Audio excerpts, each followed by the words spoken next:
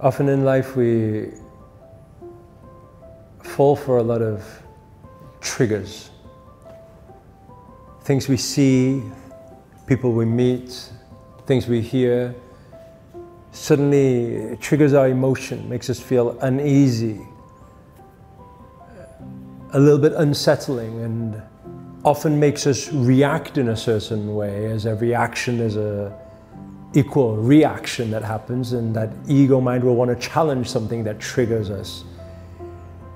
When in actual fact, we don't see that life is purely a reflection of us, that is one. The existence of everything is happening at the same time, meaning all worlds of dualities are in existence at the same time, meaning that is existence, that is life. And often we get triggered by so many different things, walking away from it, moving away from it, trying to escape back to our norm or what we call our comfort zone or what I like to call the no growth zone. Because if we look at how far we've come in life to every awakening point, we can almost map it out in a sense to say that each trigger is an opportunity to allow us for a quantum leap into a new realm of understanding or into a next level of spiritual awakening.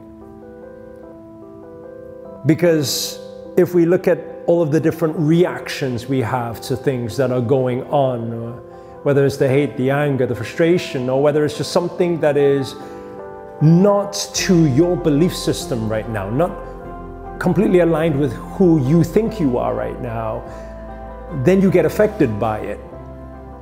So, how do we build strength in that spirit? Is on that highest level of spirituality to become the creator, to become the divine. And as the divine has it, the divine is the observer. Not seeing things worse than it is, not seeing things better than it is, but just seeing as it is. And as we look at the vibrational frequency chart, we have this word acceptance. It's okay. Everything's okay. Without judgment. Not why is he dressed that way, or this person should not act that way, or that person should not be perceived that way. It doesn't matter, actually. Because we are not judges. This is not our role. And our role in this physical plane, in this limited amount of time is just to experience all and learn to enjoy the exuberance of life through all the trials and tribulations. So, what if we now see every trigger as an awakening? And if we could move that way, every time we feel that uneasy feeling, to recognize that it may be something within us that is creating that. We will grow leaps and bounds in this awakening process.